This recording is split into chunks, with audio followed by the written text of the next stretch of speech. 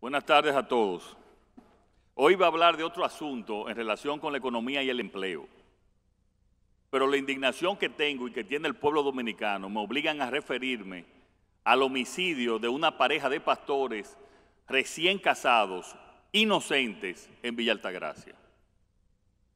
Hoy es un día en que cuesta describir con palabras lo que uno siente porque ninguna alcanza a expresar la indignación, el grado de dolor y la rabia que todos llevamos dentro al ver la noticia del tiroteo a cargo de policías que han arrebatado la vida a dos jóvenes dominicanos que tenían un gran futuro por delante. Ya me he comunicado con algunos de sus familiares, especialmente con don Eusebio, padre del joven Joel, para expresarle mi pésame y mi inmenso dolor y nos estamos por comunicar con los demás familiares.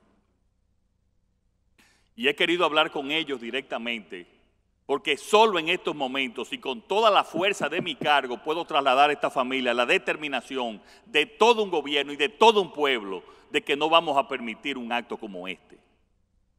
No hay palabras, pero tampoco hay derecho.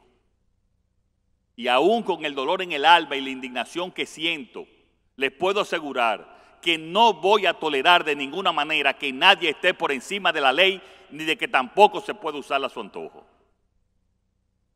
Esta triste noticia me reafirma aún más mi compromiso irrenunciable de una reforma policial que sea integral, que se rija por protocolos éticos y que la lleve a ser un cuerpo que cuide y proteja a todos los ciudadanos dominicanos.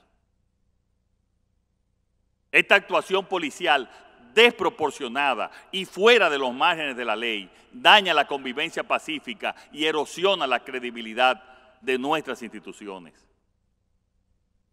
Le he dado instrucciones inmediatas al ministro de Interior y Policía para la cancelación de estos agentes y para que sean enviados a la justicia, donde deberán responder por sus actos.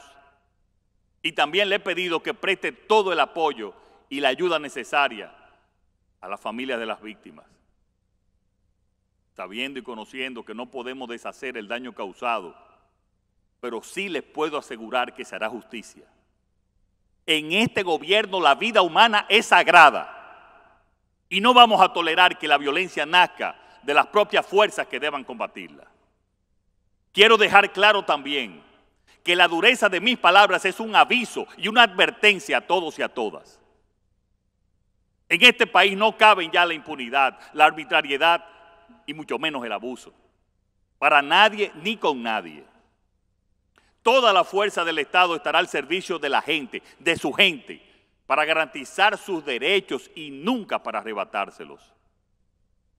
Desde aquí y de la manera más solemne de la que soy capaz, les digo que no están solos, que tienen con ustedes a todo el pueblo dominicano y por supuesto a su presidente y pido a todo el pueblo dominicano que ore conmigo para darle paz y consuelo a esta familia que hoy sufren este inmenso dolor. Que Dios lo bendiga.